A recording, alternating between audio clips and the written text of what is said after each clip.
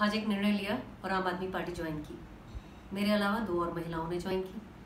तो एक चीज़ तो साफ़ होती है कि आम आदमी पार्टी में किसी तरह के जेंडर महिला, पुरुष इस तरह का भेदभाव नहीं है। दूसरी चीज़ ये कि जब मैंने स्वैच्छिक सेवानिवृत्ति ली थी और विदिशा में काम करने का सोचा था तो ऐसा नहीं था कि चुपचाप काम किया।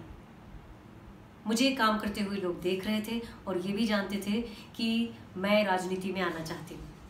राजनीति में इसलिए आना चाहती हूँ कि एक ऐसी जगह है कि अगर आप सफल होते हैं तो आप वाकई परिवर्तन ला सकते हैं और सकारात्मक परिवर्तन ला सकते हैं।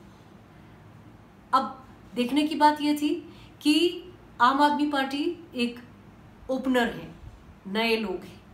तो उनके साथ आने का मतलब है कि निर्माण की प्रक्रिया में विश्वास होना। अगर हम बाकी दोनों पार्टी की बात करें तो एक कहती है हम इतनी पूजा करेंगे तो दूसरी कहती है, हम उससे डबल पूजा करेंगे.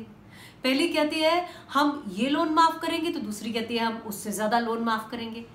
तो इसमें सब में कहाँ पर कोई क्रिया क्रियात्मक बात हो रही है, कोई अच्छी बात हो रही है, कोई क्रिएटिव बात हो रही है, ये सब एक दूसरे से होड़ की बात है। तो अच्छा करने कौन आएगा? तो फिर वो नए लोग के साथ जाऊँ ना जो कुछ अच्छा करने निकले हैं, जिन्होंने अच्छा करने का एक रिकॉर्ड बनाया है, जो हम दिल्ली के वीडियोस देखते हैं, आम आदमी पार्टी का काम देखते हैं, और मैंने एक पर्टिकुलर विधायक को देखा है, काम करते हुए देखा है, पंद्रह घंटे, सोलह घंटे अपने लोगों के साथ वो उपलब्ध हैं। और कहीं कोई अहंकार नहीं, कहीं कोई ऐसी बात नहीं कि मैं कोई अलग हूँ आपसे, बस उन्हीं में घुल मिलकर काम करते हैं। तो पढ़े लिखे लोग जब होते हैं तो इस बात को समझते हैं। वो बड़ा होने की, प्रभु होने की सर्वे सर्वा होने की कोशिश नहीं करते।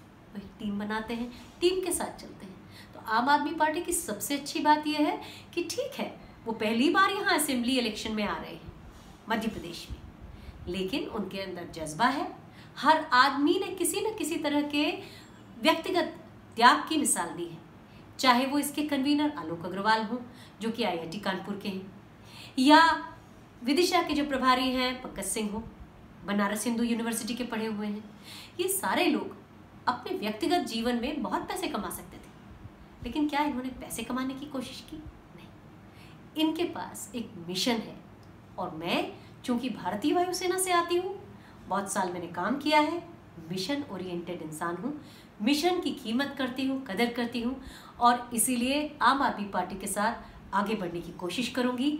अपने विदिशा को सार्थक रूप में अच्छाइयों की तरफ़ ले जाने की कोशिश करूँगी और मुझे मालूम है मेरे यहाँ के सब अच्छे लोग जिनको उनकी अच्छाइयों का सिला अब तक नहीं मिला है, अगर वो मेरा हाथ पकड़ेंगे, मेरे सिर पे हाथ रखेंगे तो दोनों ही कंडीशन में हम सब मिलकर कुछ मील के पत्थर ज़रूर बना सकेंगे। बस इतना ही।